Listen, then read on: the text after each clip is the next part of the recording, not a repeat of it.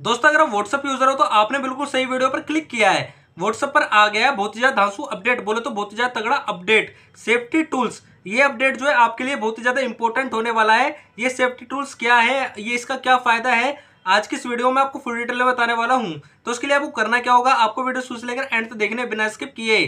तो चलिए, मैं आपका ज़्यादा से बर्बाद नहीं करता हूँ वीडियो शुरू करता हूँ। तो सबसे पहले आपको अपना व्हाट्सएप ओपन कर लेना है। तो देखिए, मैंने अपना व्हाट्सएप ओपन कर लिया है। फिर उसके बाद मैं वो चैट सेलेक्ट कर लूँगा, जिस पर मेरे पास मैसेज आया था, जिस नंबर से मेरे पास मैसेज आया था।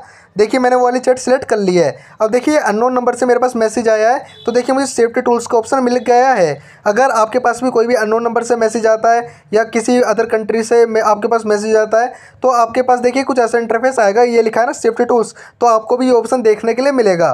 तो हम बात कर लेते हैं सेफ्टी टूल्स क्या है। तो देखिए, यहाँ पे क्या लिखा है? Not contact no common groups ना ही आपका मतलब किसी ग्रुप में नंबर ऐड है ये, ना ही मतलब आपके कॉन्टैक्ट में ऐड है, इसमें ये दिख बताया गया है। अब बात कर लेते हैं सेफ्टी टूल्स होता क्या है। जैसे आप इस पर क्लिक करोगे तो देखिए कुछ ऐसा इंटरफेस आएगा।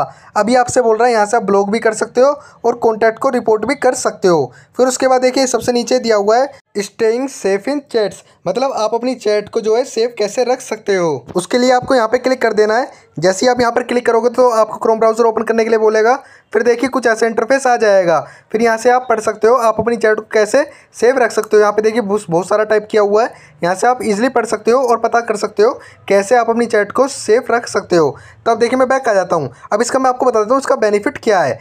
तो देखिए, सामने वाला बंदा जो है आपके पास कोई भी मैसेज करता है और आप उसे सीन कर लेते हो, बट सामने वाले बंदे को पता नहीं चलेगा, आपने मैसेज सीन कर लिया है। अदरवाइज़ देखिए, अगर कुछ ऐसा होता है, आप उसका रिप्लाई दे देते हो और उसके बाद फिर वो मैसेज करता है और आप इसके मैसेज को सीन कर लेते हो तो सामने वाले बंदे को आसानी से पता चल जाएगा, आपने मैसेज सीन कर लिया है। अगर आप उसका रिप्लाई नहीं देते हो तो उसे पता नहीं चलेगा, आपने मैसेज सीन किया है या नहीं किया, अगर आप देख भी लेते हो तो इसका यही फ़ायदा है। तो कैसी लगी आपको वीडियो? प्लीज़ कमेंट बॉक्स में ज़रूर बताएँ। अगर आपको कुछ भी डाउट है इंस्टाग्राम फेसबुक व्हाट्सअप से रिलेटेड तो आप मेरे पास इंस्टाग्राम पर मैसेज कर सकते हो। मेरी आइडिया संकेत वन ट्रिपल सिक्स तो अगर आपको वीडियो अच्छी लगी तो प्लीज़ लाइक करें शेयर करें एंड सब्सक्राइब करें। मैं इसी टाइप्स की वीडियो सुलाता रहता हूँ।